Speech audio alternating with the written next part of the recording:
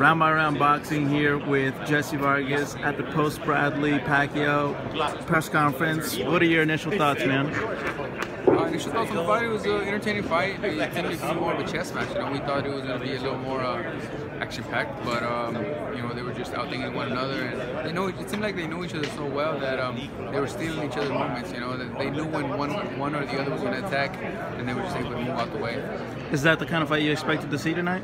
I was I was actually expecting an action-packed fight. You think? I thought they were going to go at it. You know, it was the third one, the grudge match, and they were going to prove prove to one another who was the best fighter, which they did, but they didn't. It wasn't as as uh, as busy as we thought. You know. A lot of people thought that they were going to be seeing a Tim Bradley 2.0 since you know Teddy Atlas came into the picture.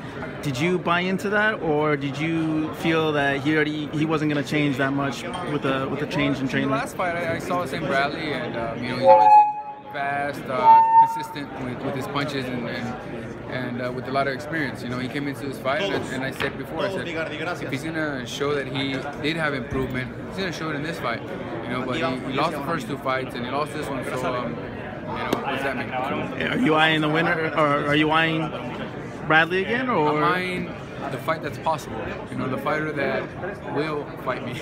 Right. You know, and um, hopefully Manny will. will Manny's an option. You know, um, if he wants to fight for the welterweight world title, of course, I'm, I'm open for, for that fight.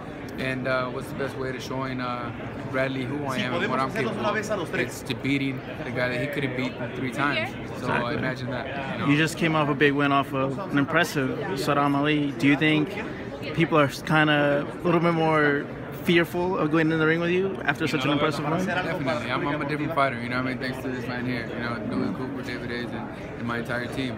You know, we're uh, looking forward to big things and giving the fans better better fights, better performances, and uh, more for them. Ultimately, that's what we do. Uh, and the message to your fans waiting to see you fight again? Yeah, thank you for your support. We should be back in the ring sometime in July, so uh, stay tuned. Everything's being negotiated now, and uh, we should be, follow me on Instagram, Jessie Vargas underscore, and Twitter, Jesse underscore JV. Follow my trainer, Dewey Cooper, Black What is it, Black Cobra at? Yeah, DC Black Cobra. Cobra with a K. Yeah, follow him, man. There you have it, Jessie Vargas. Thanks for the time. Anytime.